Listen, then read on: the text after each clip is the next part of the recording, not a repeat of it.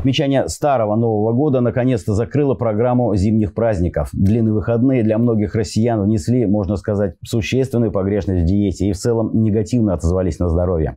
Сегодня у нас в студии главный врач областной клинической станции скорой медицинской помощи Валентин Иванов. Валентин Борисович, здравствуйте. Добрый день. Ну, праздники закончились, можно наконец выдохнуть или в этот раз было все на удивление спокойно?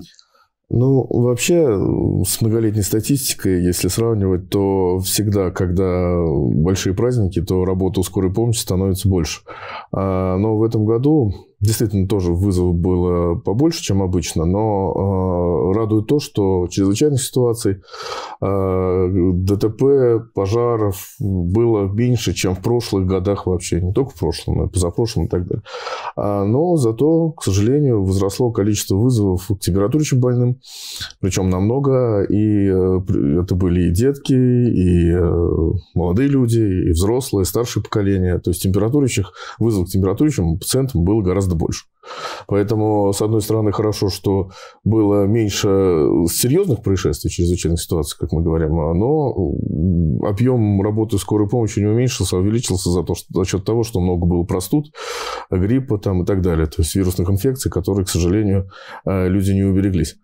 Вот. А так работали, конечно, в основном в нашем обычном режиме 24 на 7. Звонков много было, обращений много, выездов тоже много. Поэтому э, праздники были напряженные. Но, опять же, отталкиваясь от вашего высказывания, что люди стали единее или более здоровый образ жизни стал появляться? Ну, может быть, э, погода так повлияла, потому что все-таки вот эти декабрьские плюсовые температуры, кто-то шапку не одел, кто-то на распашку пошел. И э, очень много температур связано и с переохлаждением, и с контактами пациентов пациентов больных со здоровыми и так далее. Вот.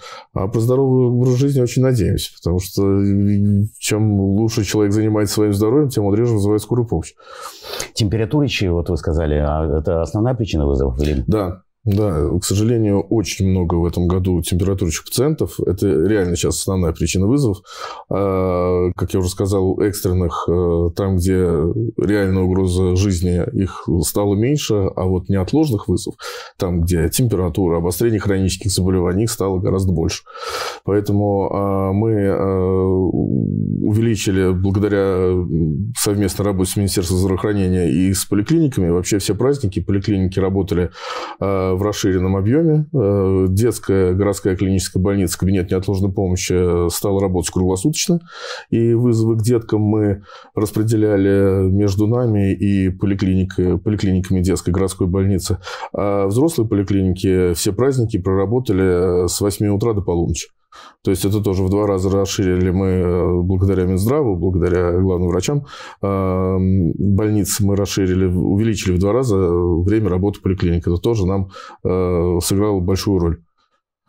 Ну, вот мы уже об этом говорили, и вы упомянули, что за праздники, конечно, многие, ну, в том числе ваш покойный слуга, нарушали диету, а многие нарушали режим вот э, какие-то общие советы, которые никогда лишними не будут. Как выходить из этого? Понятно, что не садиться на диету, а следовать ну, диете. Естественно. Во-первых, э, не нарушать для начала, чтобы не было... Это... Понятно, что соблазн да. есть, да, но чтобы выходов э, тяжелых не было, не нарушать. Вот. Ну и э, возвращаться в рабочий режим нужно как можно раньше. Понятно, что можно один день нарушить, два, но если нарушения идут 3, 4, 5, то это уже тогда, конечно, однозначно придется обращаться в больницу, и э, со здоровьем э, ничего хорошего не будет, если человек нарушает там все свои режимы в течение всех праздников. Вообще праздники лучше, конечно, проводить э, не за столом, а на свежем воздухе, на, на лыжах, лыжах, да? конечно, да. Да просто хоро- хорошая ходьба, и то она больше здоровья принесет, чем э, переедание. Ну, естественно, меньше алкогольных напитков э, употреблять. Э, вообще, вредные привычки. Сейчас очень э, хорошая реклама ЗОЖа. Сейчас практически везде мы видим, что курить вредно. И если придерживаться этого, то, понятно, не будет и э, трудного выхода. Вот. Но кто уже нарушил диету, понятное дело, при необходимости, если есть какие-то неприятные ощущения, конечно, надо обращаться к врачу. И вообще с любой патологией медлить-то не нужно. Потому что у нас люди делятся на два типа. Они одни до последнего терпит и уже вызывает скорую помощь или обращаются в поликлинику тогда, когда уже болезнь заходит далеко, а другие, наоборот, а, при мельчайшем недомогании вызывают скорую помощь. И понятно, что в этот момент ожидания, процесс ожидания скорой он будет длительным, потому что никто не отменял, к сожалению, дорожно-транспортное происшествие, там, инсульт, инфаркт. То есть те состояния, при которых мы должны прибыть за 20 минут, там, где есть угроза жизни, и там, где скорая помощь действительно должна быть как можно быстрее у пациента. А что чаще бывает? Люди звонят, вот э, вы, вы сказали, по любому поводу или наоборот терпят до последнего? Что у нас превалирует? Ну, знаете, у нас превалирует то, что люди звонят 03 э, по любому поводу, к сожалению. Да. Больше вызовов тех, которых как бы можно было либо отсрочить, либо по телефону консультацию оказать. И у нас, кстати, круглосуточно работают три врача-консультанта на станции. То есть, в принципе, можно сначала посоветоваться, а потом уже решать вопрос. То есть они уже решат вопрос, что делать человеку. Обратиться в поликлинику, либо ждать бригаду. Ну и эти врачи-консультанты, они также оказывают консультативную помощь во время того, пока бригада едет до пациента. То есть они могут дать совет, что нужно сделать до прибытия, а, либо принять какую-то таблетку, либо а, свечку там ребенку поставить, либо обтереть э, водочным раствором. То есть, ну, в любом случае, любая консультация 24 э, на 7, они тоже у нас Круглосуточно. Да, да. А тоже всегда было три? Нет, мы с увеличением нашей организации, мы сейчас одна организация, мы в декабре присоединили э, Восточный Оренбуржик к нам, поэтому а, у нас и количество врачей-консультантов начало увеличиваться. Когда-то был один, потом два, сейчас три на центральную западную зону, и на востоке дежурный пост врача-консультанта, он также остался. А как нужно звонить скорую и перенаправят? А, Или можно есть и прямые, телефон? на прямые номера 44 13 40, 44 13 41, 75 31 25. По этим номерам тоже можно напрямую позвонить. Можно, конечно, набрать и 03, 103 или 112 сотого.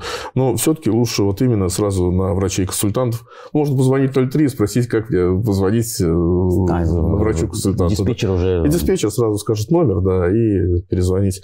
Вот. Консультация также 24 на 7. Эти врачи консультируют не только пациентов, они, естественно, и бригады консультируют. И по тактике, и по лечению, и по маршрутизации пациентов, и по оказанию помощи. То есть, э, на любой вопрос эти врачи должны ответить. Ну вот э, сказали либо 103, либо 112. Вот 103 я точно знаю, 8 числа, например, не проходил. Не было ну, сигнала. Это и от оператора зависит, от загруженности. Это если много вызовов сразу, то может быть, конечно, неполадки, но это все время. Вот. А так э, все три номера, они рабочие. И время вызова, э, как долго будет приезжать бригада? Ну, какой-то регламент же существует. А, да, ну, поверьте мне на слово, можете приехать проверить, что мы э, никогда не отдыхаем. Мы всегда стараемся как можно быстрее приехать на любой вызов, но разделение э, вызовов на экстренные и неотложные оно уже много лет работает, и в этом плане и так и должно быть. Наш регламент – это 20 минут на экстренный вызов. То есть там, где есть угроза жизни.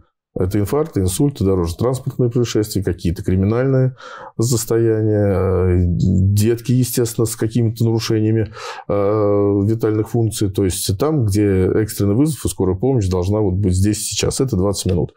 А все остальные вызовы, неотложные вызовы, то есть это обострение хронических заболеваний, э, ухудшение старой травмы, температурящие больные, э, повышение давления без... Э, не. Да, не критичное повышение давления. Это все вызовы в неотложной форме. Это мы такие вызовы в часы работы поликлиник передаем в кабинет неотложной помощи при поликлиниках. И э, я всегда говорю, гораздо лучше, когда придет к вам ваш участковый терапевт, возможно, или фельдшер с поликлиники, потому что есть все данные, можно открыть больничный лист, а, есть история болезни, терапевт, если причем это хронически больной, который часто обращается в поликлинику, терапевт участковый уже знает, и он уже видит, что что-то вот пошло не так в обычном лечении. А, то есть вызовы в неотложной форме, они либо передаются в кабинеты неотложной помощи, Э, в поликлинике, либо э, бригада скорой помощи выезжает, если э, при двух, скажем так, условиях не работает поликлиника и нет вызовов в экстренной форме. То есть, понимаете, да, если поступил вызов ДТП на живое ранение, без сознания и вызов температуры, естественно, мы сначала поедем на ДТП на живое без сознания, а потом уже поедем на температуру. Поэтому здесь регламента у нас нет. Только в свободное от экстренных вызовов время. Ну, сколько можно прождать? Часа два? Э, ну, можно и больше. Это все зависит от количества поступающих. Угрозы здоровья нет? Если угрозы здоровья нет, то угрозы здоровья нет. Вот. Поэтому, конечно, диспетчерская все это фильтрует. Естественно, диспетчерская э, звонит активно на эти вызовы. То есть те, которые долго находятся в ожидании, чтобы не упустить момент там, ухудшения состояния. Вот. Э, и пациент может позвонить, и пациенту позвонит врач-консультант. Ну, понимаете как? Ну, каждую зиму так. То есть каждую зиму, когда увеличивается количество респираторных болезней у людей, возникает вот такой вот наплыв но, как правило, это вызов в неотложной форме. Ну, почти в 100% случаев. Поэтому мы стараемся, конечно, на праздники увеличивать количество бригад э, максимально, увеличивать количество диспетчеров, но насколько это, опять же, позволяет наши, наши возможности. Новогодние праздники – это самое горячее время в году? Любые праздники – горячее время, да. Но поскольку новогодние небольшие, да, и поэтому э, приходится скорой помощи работать напряженно. Да всем ургентным службам, скажем так, и травпунктом, и э, отделением хирургии. То есть, э, понимаете как, экстренные вызовы, количество ДТП, оно примерно одинаковое. Количество инфарктов, инсультов, оно тоже примерно одинаковое. Вот. А количество несчастных случаев, скажем так, которые связаны с нарушениями в диете, да, вот они, естественно, в праздники они возрастают. Это раз. А, и простуды. Понятно, что зима, понятно, что большие контакты, понятно, что э, детки ходят, бегают, а тут еще плюс как-то, то есть оделся не так, простудился и так далее. То есть в этом году огромное количество у нас было вирусных инфекций, огромная нагрузка на скорую помощь. Но, опять же, благодарю своих коллег, которые э, организовали дежурство кабинетов неотложной помощи во всех больницах, во всех поликлиниках были эти кабинеты неотложной помощи, работали до полуночи, а детская и городская вот до сих пор работает круглосуточно. Поэтому отдельное огромное спасибо коллегам, то, что они помогают нам разгребать вот эти вызовы в неотложной форме. Валентин Борисович, а бытует мнение, что вот в новогодние, именно вот Новый год, прям конец года предыдущего, начало следующего, обостряются все болячки, так это? Ну, это от человека зависит. Если вести здоровый образ жизни и хорошо себя вести весь год, то ничего не обострится. Вот. А так-то, ну, конечно, все равно а, погода однозначно она влияет и на метеозависимых людей, и не на метеозависимых людей. Хронические заболевания, которые обостряются, острые заболевания, то, ну, перемены погоды, перемены э, там, употребления алкоголя, там, корпоративы, естественно, это все приведет к обострению хронических заболеваний. Поэтому это не, не бытующее мнение, это, наверное, последствия мероприятие. И если человек знает, что у него 10 дней выходных, то, да, то он может, может, например, пару ночей не поспать. Но, знаете, артериальное давление обязательно отреагирует у человека среднего и, и это, взрослого возраста, они, это, естественно, оно отреагирует. Вот вроде бы как и, да, и говорят, что обострилось. Обострилось, потому что нарушен обычный режим, э, выход, скажем так, из зоны, зоны вот, вот обычной работы, да, обычного, и не поспал ночь, давление повысилось. От чего это случилось? Да не от того, что что-то обострилось к концу года, а от того, что просто был какой-то режим нарушен. Вот так же с алкоголем. Ну, это естественно, это понятно, что алкоголь – это яд. Если человек употребил один, и, не дай бог, два дня подряд, ну, естественно, тут и давление поднимется, и голова разболится, и желудок может заболеть, и все что угодно может быть. Вот. А алкоголь, там, праздники, курение, да, там, ну, опять же, все эти хронические заболевания дыхательных путей, тут желудок заболит и так далее. То есть, ну, это порочный круг уже. Поэтому именно, да, 10 дней их надо проводить с пользой для организма.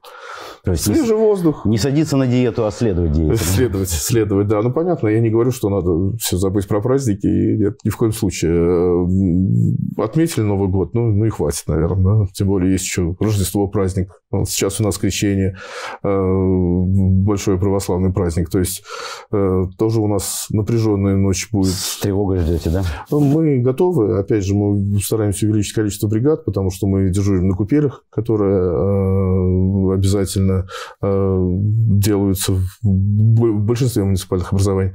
Поэтому, конечно, мы готовимся к тому, что будет повышенное количество обращений. Ну и тем более все больше и больше народу населения увлекается крещенскими купаниями. Да, да, но только надо здоровым это делать. Все-таки людям, которые э, во второй половине жизни поняли, что они веруют, э, и с хроническими или с острыми заболеваниями идти нырять в прорубь я бы не советовал.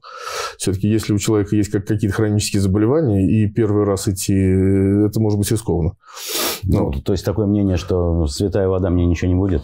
Ну, святая вода, она и в церкви, в церкви можно взять, да, и тут мое мнение, что все-таки есть случаи, когда пациентам наступало, ну, людям становилось плохо, поэтому тут надо быть осторожным. И все-таки начинать закаливаться там 40-50 лет не советую. Вот. И плюс, опять же, тот же самый алкоголь, когда обманчиво люди думают, что станет э, теплее, легче после употребления. Нет, не станет ни теплее, ни легче. Все-таки, во-первых, эта эм, процедура, скажем так, она э, исключает употребления алкоголя, а во-вторых, вот это вот заблуждение, что расширяются сосуды, да, они расширяются, ну, кратковременно, а потом возвращается на холоде, все сосуды сжимаются, и это может опять же обострить э, гипертонию, обострить бронхиальную астму, э, бывает э, приступ астмы на холодную воду, ну, тоже такой вариант есть. Варианты, да. да. Плюс стресс для организма, когда с холодной воды на холодный воздух, тут все что угодно может обостриться. Поэтому людям с хроническими заболеваниями ну, однозначно не рекомендован. Вот вы отметили, что в, в эти дни мы увеличиваем там, количество бригад. А хватает укомплектованной бригады как полностью? Ну, или вообще бригад хватает? К сожалению, к сожалению, не совсем. К сожалению, не совсем. А мы э, готовы принять э, всех абсолютно, кто имеет соответствующие документы. Конечно, мы э, стараемся принимать, мы стараемся, у нас есть целевые направления. Мы учим и врачей скорой помощи, и анестезиологов, реаниматологов. То есть мы каждый год, конечно, мы принимаем в людей, но мало, мало. Мало. Хотелось бы больше, да? Если транспорта, да, очень бы хотелось больше. Если транспорта у нас предостаточно, э, автомобилей достаточно, автомобили мы каждый год получаем от правительства, э, то с людьми, конечно, есть недостаток, и нам бы хотелось, чтобы их было больше. Мы стараемся, мы целевые направления даем. Вот. Мы принимаем людей, всех, кто к нам приходит, э, и средний персонал, и врачебные кадры. Конечно, с врачами Э, потуже, вот, э, среднего персонала побольше, но, тем не менее, все равно не хватает. Ну, специфика. Самая сложная, наверное. Это вы правы, да. Я тоже считаю, что это самая сложная работа. В любое время дня и ночи, в любую погоду мы должны принять вызов и приехать к больному человеку. Неважно, шторм, сказали штормовое предупреждение, ну что, все равно сел и поехал. А, минус 20, минус 40, плюс 40, ну, вы же понимаете, мы не останавливаемся вообще никогда. И пациенту, ну, если он болеет, ему какая разница, он же тоже не виноват, да, что на улице минус 40. Поэтому это очень тяжелая работа, и поэтому врач и фельдшер скорой помощи, он должен быть не только грамотным, он еще должен быть и физически здоровым, чтобы выдерживать э, такую тяжелую работу. А в сельской местности есть проблемы? Все-таки там вот большие знаете, территории? Все-таки в сельской местности сейчас, наверное, даже и попроще. Потому что количество бригад, э, количество постов, они как были изначально давным-давно, ну, в процессе сформированы, они также остаются, поэтому в сельской местности не так как напряженно, как в городе Оренбурге. Ну и количество вызовов, естественно, в городе Оренбурге оно самое максимальное. Просто от, от, от численности населения? Да, да, да, да. да. Э, предварительные действия при ожидании вот, прибытия бригады. Что можно сделать, облегчить, чтобы... Давайте так, по каждому конкретному случаю эти действия разные. И я уже сказал про консультативные посты, которые есть и у нас, и в Орске. Э, поэтому тут я думаю, что лучше, скажем, в конкретном случае, если бригада вдруг а, пациенту кажется, что она долго не едет, тогда лучше позвонить по, по тем номерам, которые я сказал, и проконсультироваться с врачом. Госпитализация в каких случаях происходит? А, вот опять же, госпитализация происходит в зависимости от типа вызова. Если это вызов экстренный, то, естественно, госпитализация там нужна в 100% случаев. То есть, э, э, ну, практически в 100% случаев. А если вызов неотложный, то там госпитализация, как правило, не нужна. То есть, оказывается помощь, пациент оставляется на месте и передается актив в участковую поликлинику. Валентин Борисович, а можно, например, потребовать от э, сотрудника бригады, который приехал, чтобы больничный выписали? Нет, таких полномочий у сотрудника нет. Мы больничные не выписываем. Мы даже бывает, если звонят и говорят, что нам нужно выписать больничный, нет, это не функция скорой помощи. Функция скорой помощи – это оказание экстренной медицинской помощи и медицинской эвакуации, то есть доставку при необходимости пациента в стационар. Это функция выдачи больничных листов, это функция поликлиника.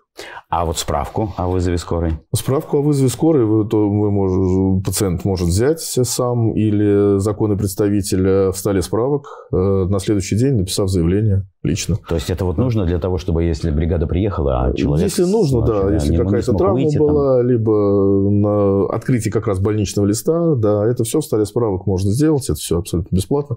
А, но э, бригада этим не занимается. У бригады нет на это время. Бригада должна обслужить вызов и ехать на следующий. То есть все они данные отдают, да, диспетчер да, можно и да, на, на основании. Да. А стол справок уже на основании э, документации выдает соответствующий клиент. Владимир Борисович, такой вопрос. Если, допустим, сложности с вызовом у человека, ну, например, там, не знаю, проблемы с руками или глухонемой, вот как ему это э, Два типа приема. Первый – это обычно по телефону, второй – это по СМС. То есть у нас на сайте написан номер, э, тот, по которому СМС, по СМС пациент может, набрав адрес, смс приходит в диспетчерскую, и э, если что-то, допустим, диспетчер э, хочет уточнить, он также ответ на смс посылает, и вот по смс-общению. То есть для людей с э, нарушением слуха речи вот такой вот вид коммуникации со скорой помощью есть. Ну и, наверное, в завершение. Вот э, существует у вас дежурство вот, на каких-то мероприятиях, я не знаю, вот, ну, условно говоря, спортивные соревнования? Как-то это регламентируется? Ну, это, конечно, это отдельный регламент, это отдельная э, часть работы, это не работа скорой помощи, это дежурство на массовых мероприятиях, да, такое есть, это отдельный договор. То есть это не обычная работа, это дежурство, да, специальная бригада это делает. Ну ладно, действительно, все аспекты мы раскрыли, как руководство действует для людей, которым внезапно стало плохо. Спасибо, что пришли, ответили на наши вопросы. Ваши советы никогда лишними не будут. И все равно пожелаем вам поменьше пациентов. Спасибо, не болеть.